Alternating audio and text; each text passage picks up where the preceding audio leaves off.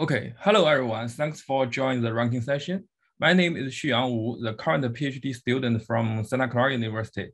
So in next 15 minutes, I will present our recent work, a multitask learning framework for product ranking with BERT, which cooperate with the Walmart searching team. Hope you glad with this topic. Well, for the for this topic, firstly, I will introduce the overview about our potential researching problems. After that, I will present the architecture of our multitask learning for product ranking framework and uh, explain the detail of each stage in the framework with the formulation. And later, I will show the overall experimental results to demonstrate our model with the best performance than the competitive baseline models. I also will give some ablation study results to prove the efficiency of our model uh, at the end, I will give the conclusion and some potential further works. So online shopping have now become an integral part of people's daily life. With an ever increasing catalog size, product searching systems have been playing a crucial role in serving customers shopping on online e-commerce system. So for example, in this diagram, consumer could find uh, what they want through the searching query. The e-commerce platform need to understand the intent of user by the query and return the relevant items. Based on the results, user could decide click the item for more details and buy it or give up. Usually, users are more likely to click the top relevant items. So the product ranking system should be indispensable part in e-commerce platform. And the product ranking system could optimize the ranking order based on the user engagement data, such as the click, add to cart, and purchase. However, it still have some challenge within the product ranking. For example, the vocabulary mismatching between query and the products, the variables the engagement signals, and uh, they also have the data sparsity problem. In this paper, uh, in this work, we tackle the above challenge by processing a multitask learning framework for product ranking with BERT, which utilizes the domain-specific BERT with fine-tuning to bridge the vocabulary gap and the multitask learning approach to optimize multi-object simultaneously, such as the click, add to cart, and purchase. So in this project, we present a novel multitask learning framework for product ranking uh, short for MLPR, based on neural information retrieval. And uh, it integrates semantic match between uh, with the traditional ranking feature in end-to-end -end learning manner. To our best knowledge, it is the first model that utilizes multitask learning with BERT for product ranking.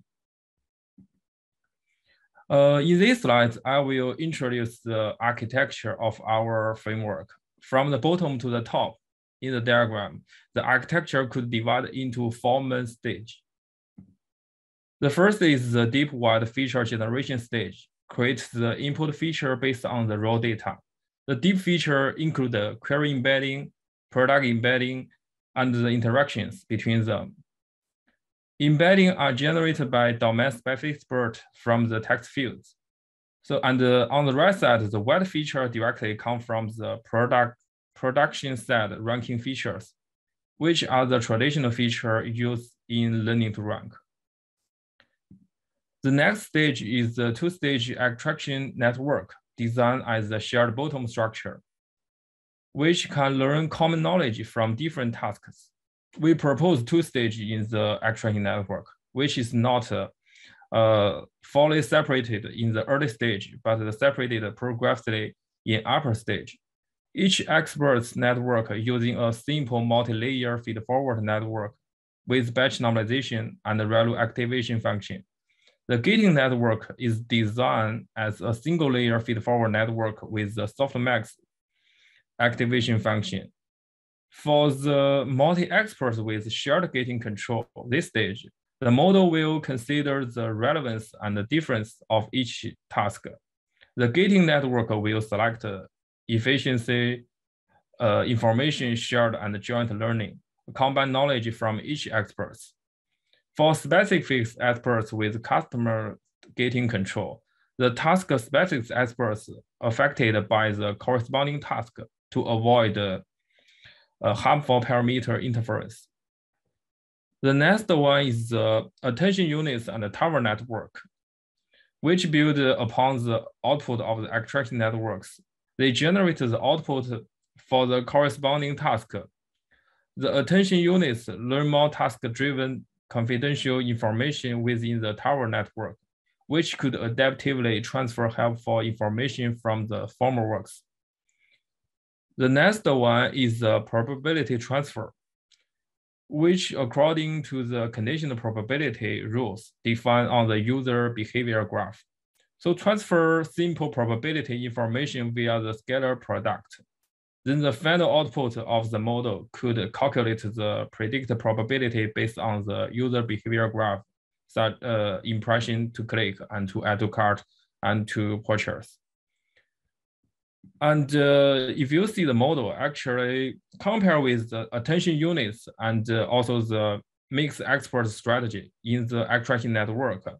So mixed experts at bottom stage could transfer shallow representations among tasks, but it's not uh, separately designed for task with uh, you know the sequential dependencies as the click, add to cart, and conversion. Also in the network close to the output layer, it often contains richer and more useful representations.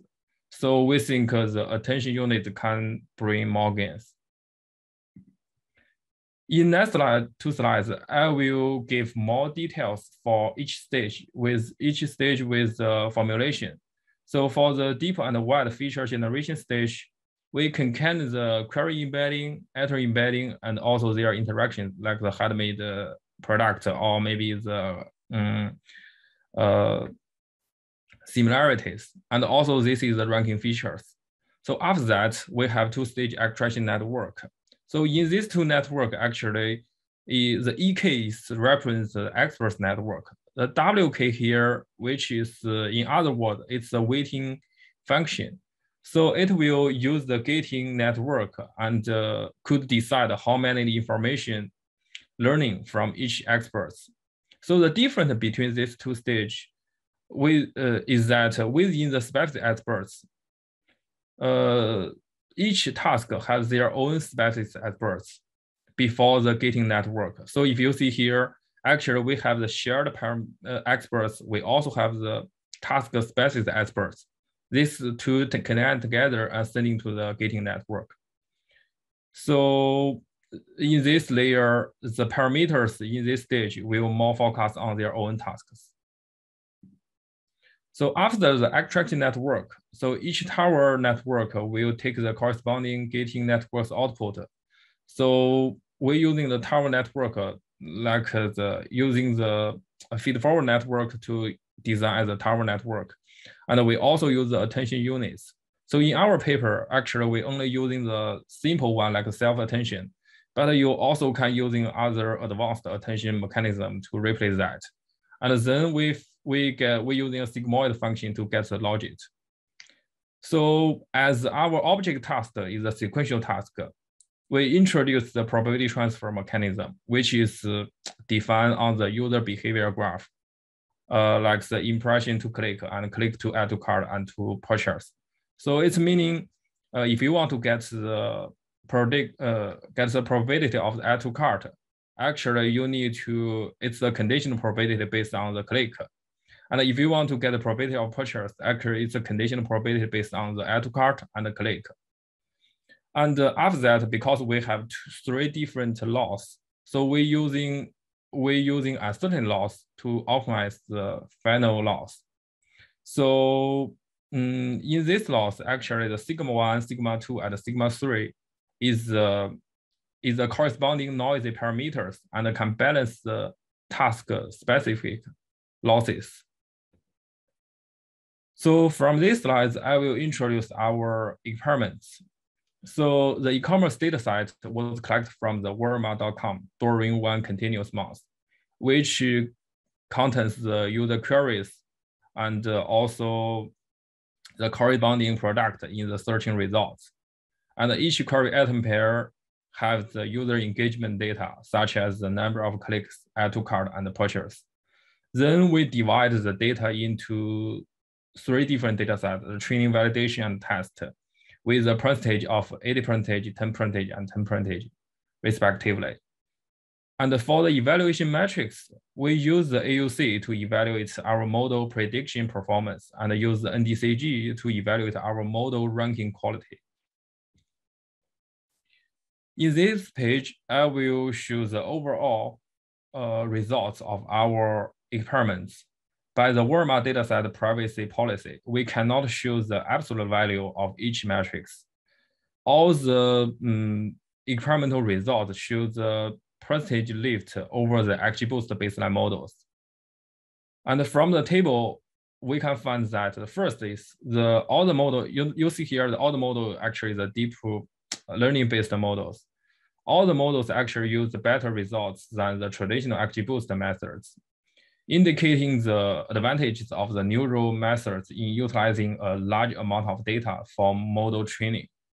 And also, if you compare with the uh, ML MLP single and MLP multitask learning, multitask learning achieve better results in most of the metrics, which indicates the effectiveness of a multitask learning approach in transferring knowledge between different tasks. And uh, based on the experts' bottom-based uh, structure, like the MMOE and the PLE, MMOE only controls the shared knowledge among different tasks results even worse than multitask learning model, uh, uh, MLP multitask learning model.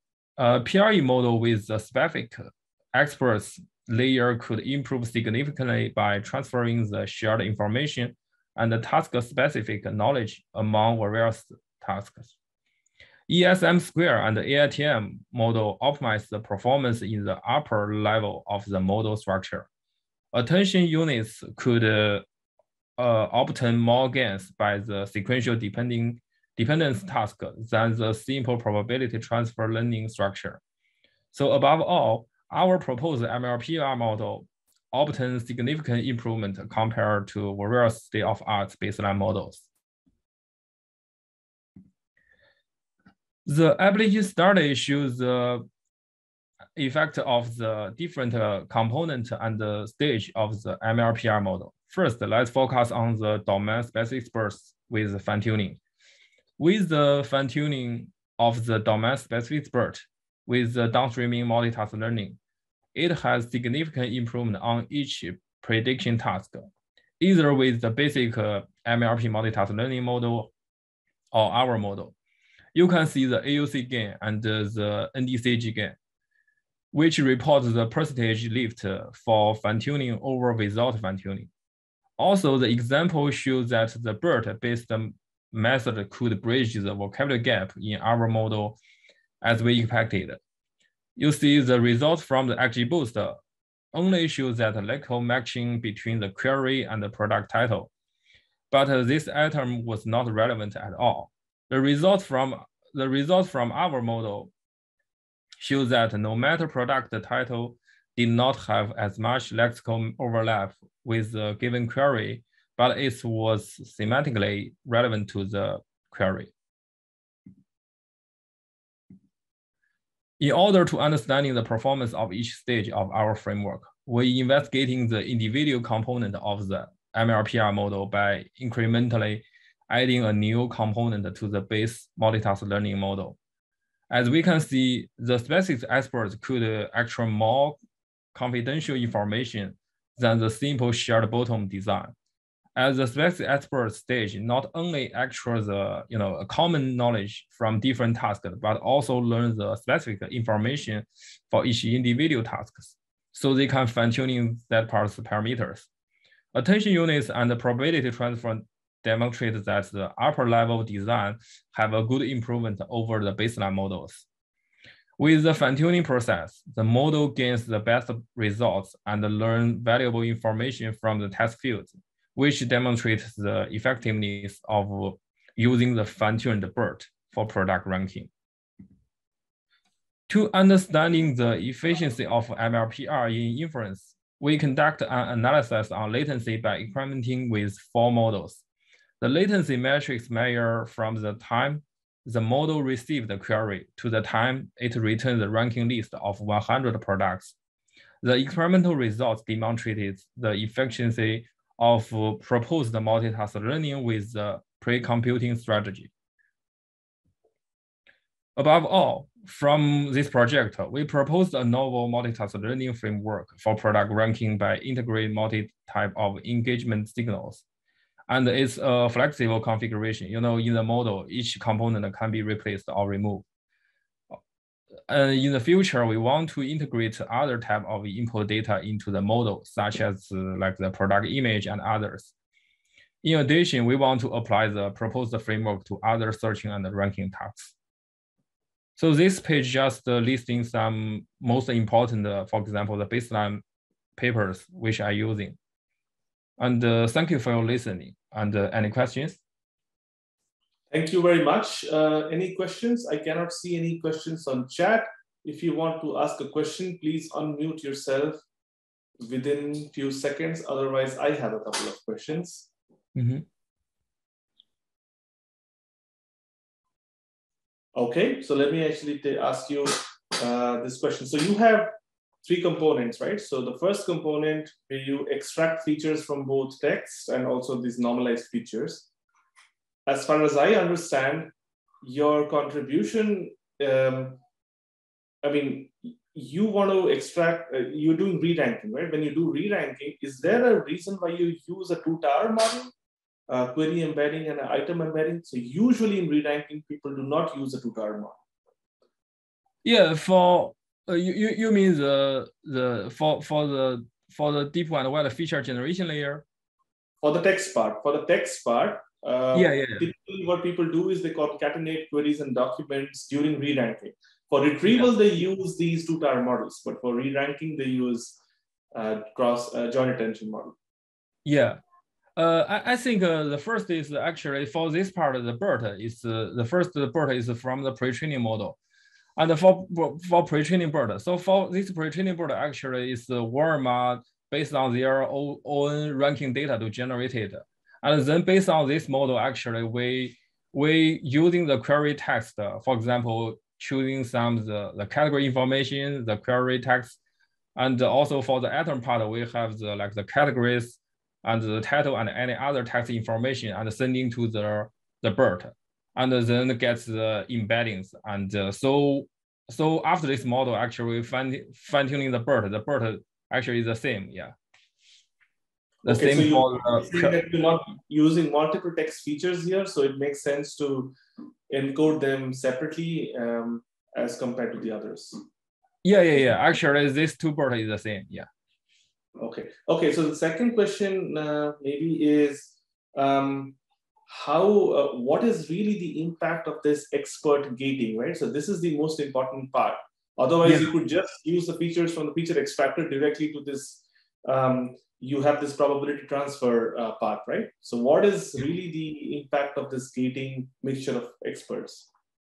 Uh, the first is like, uh, you know, if you see this stage, for this stage, actually the expert, if you see this diagram, actually for each gating, they will aggregate all the experts information. So it's like, uh, as my understanding, for these experts, they try to, after this stage, the a lot of the common information or features is learned.